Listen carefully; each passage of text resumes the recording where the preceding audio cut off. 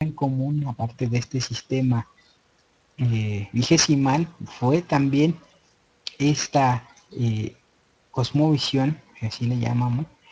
Esta es una imagen olmeca en la que podemos contemplar este pie. El personaje guarda eh, también sus sandalias, su atavío, su bandera, su nombre. Este es un dibujo he tomado de esta pieza. Vemos una huella.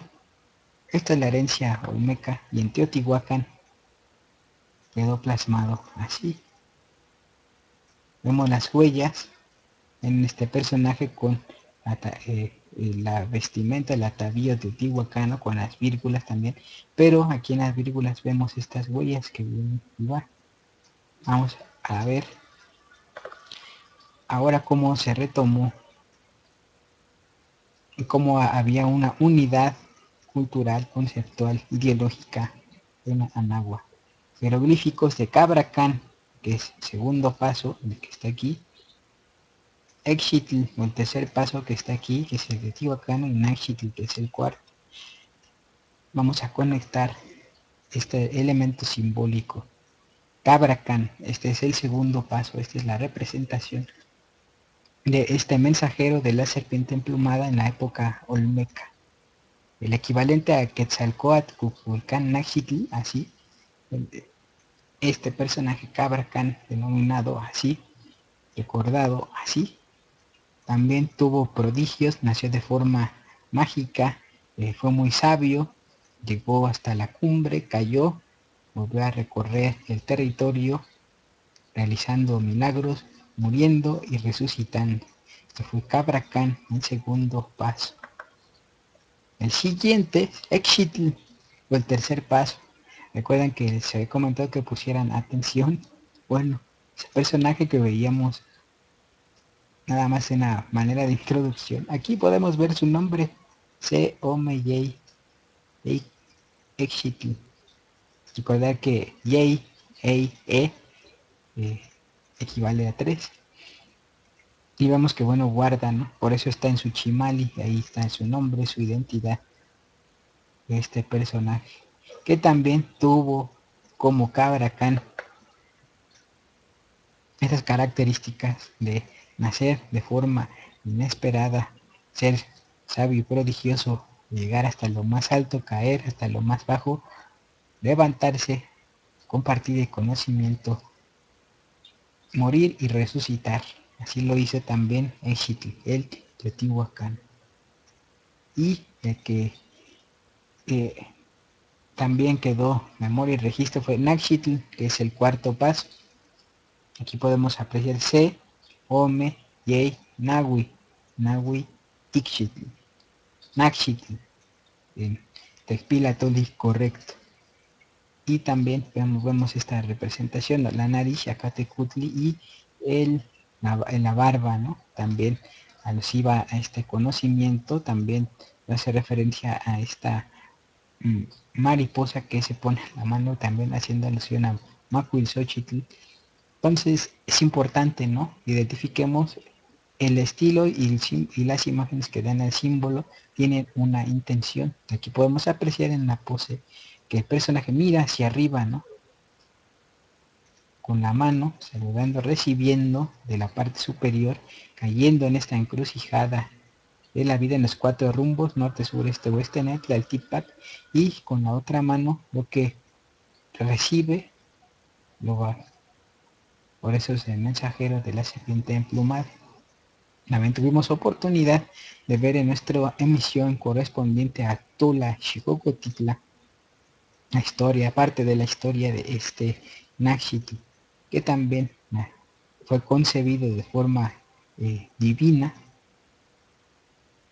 fue intentado eh, asesinar, intentaron desaparecer, no lo lograron, se salvó de forma milagrosa, un niño muy sabio, muy diestro, eh, se preparó, fue también un gran guerrero, se hizo rey de Tula Xcocoquitla, cayó en embriaguez, cayó en el incesto, fue expulsado y en su recorrido desde Tula hasta el Mayab fue realizando milagros, lo nombraron también gobernante allá en tierras mayas, él no quiso este, este poder porque ya sabía cuál era su misión. Regresó hacia, hacia tierras eh, de Coatzacoalcos y por ahí eh, se hizo incinerar y al pasados unos días resucitó y prometió regresar. Toda esta herencia se mantuvo desde la cultura originaria olmeca hasta la última, que este, entra en este contexto que sería el, este, los mexicas que esperaban este retorno y en época del esplendor de Tula Titla, este personaje, sea Catopilzin Quetzalcoatl tuvo oportunidad de descender a este mundo y legar pues, un mensaje en una de las historias más hermosas de humanidad, de evolución. Por otro lado, eh, también podemos apreciar cómo esa representación del espíritu con estas mariposas eh, fue capturada en estos murales, la belleza, el dinamismo. Eh, estas son las imágenes de Teotihuacán. Podemos ver cómo en los murales se hacen representaciones de, por así llamar, del paraíso, de, otros espacios, de otras dimensiones en las cuales se ven gente danzando, bailando, eh, cantando y también animales volando eh, contentos, tranquilos, lo cual es muy interesante. Ahora bien, estos son los braceros teotihuacanos, y también en esta sesión quinta tendremos oportunidad de, eh, escribirlos. Eh, hay simbolismo que aquí por ejemplo podemos ver una mariposa en lo que sería la nariguera y como por ejemplo en Tula Titla que siguió tras la caída de Teotihuacán se retomó para ponérsela a los atlantes en el pecho. Este también es muy interesante porque hay continuidad entre nuestras culturas originarias. Como creador del universo también el, los felinos llegaron a ser emblemas de la naturaleza y la fecundidad. Esto es porque en las siguientes cápsulas de video vamos a ver algunas imágenes alusivas a estos felinos. Este es un jaguar maya que tiene una actitud antropomorfa así de nada. Eh, esta es una imagen eh, mixteca o ñusabi en la cual también podemos apreciar este felino, ¿no? Aquí dándole un, un garrazo a esta, este, este árbol, este serpiente. Y estas son los felinos teotihuacanos. Hermosos con sus techacopilis, como ya veíamos. Los perros y este, serpientes emplumadas, eh, las fauces del jaguar, la lengua y las garras, que también es muy interesante. Pero este jaguar, las manchas las tiene con estos símbolos, lo cual también resulta muy, muy interesante. Este es el clásico jaguar Teotihuacán. El perro guardián del inframundo, emblema de Venus y de Quetzalcoatl. Vamos a ver, este es un perro teotihuacano. Igual también aprecien, tocado con plumas que saco pili. La medida y cómo está cubierto de plumas con ese contorno y las garras también. Haciendo alusión a este contacto con la tierra. Aquí el perro se está sirviendo ¿no? de, para expresar ese también es sabe o Mixteca y también podemos apreciar este mm, animalito y con los mayas pues, también se representaba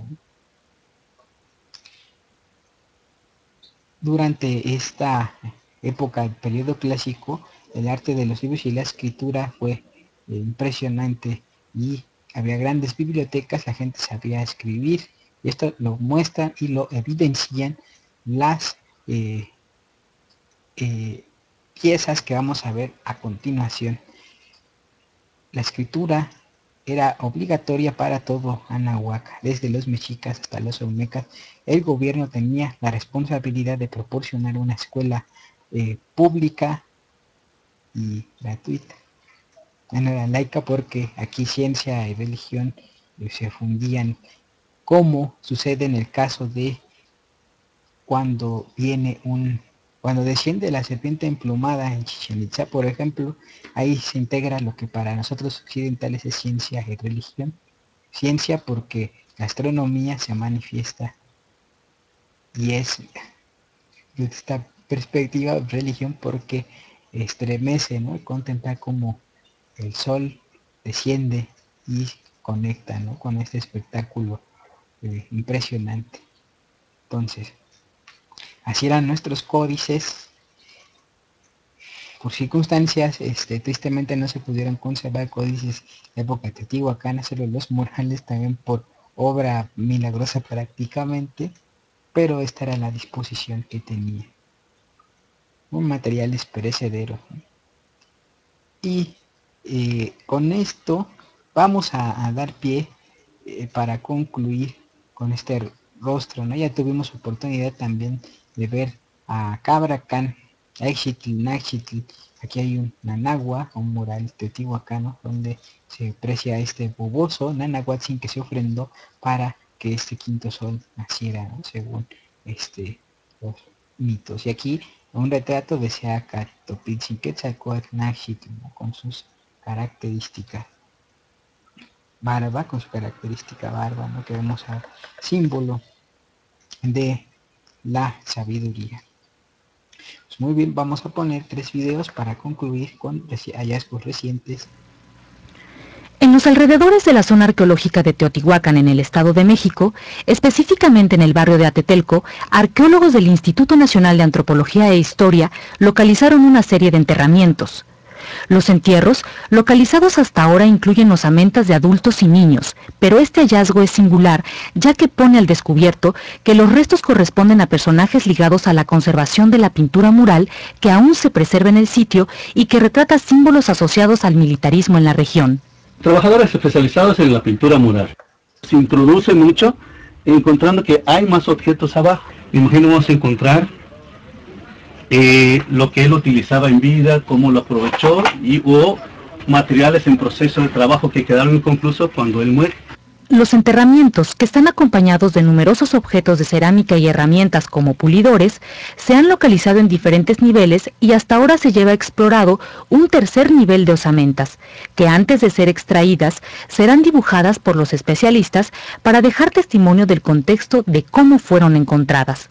Y lo que estamos haciendo ahorita es definir también la temporalidad de, la cerámica que estamos echándolo 500 después de Cristo. Es el que le llaman el esplendor ya de Teotihuacán, ¿no? Según las evidencias arqueológicas localizadas, no se han encontrado elementos que liguen estos enterramientos con ofrendas a los dioses, lo que evidencia el carácter cotidiano de estos personajes y confirma que la actividad de los artesanos y artistas pictóricos se mantenía como un oficio reconocido dentro de la sociedad teotihuacana. Este fue un video que nos habla sobre el palacio de Atetelco. Vamos a ver otro más.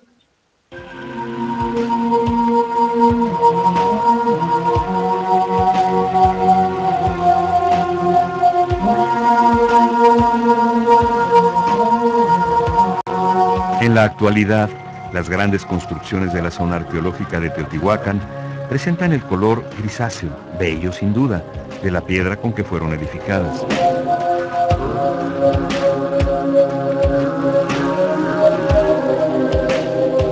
Sin embargo, sabemos que Teotihuacán, la gran metrópoli mesoamericana, entre el 500 y el 600 de nuestra era, tenía un aspecto deslumbrante debido a que era una ciudad casi enteramente colorida. Los muros de sus pirámides, templos y palacios estaban recubiertos de pinturas con motivos y símbolos, deidades, personajes sobrenaturales, representaciones míticas y religiosas.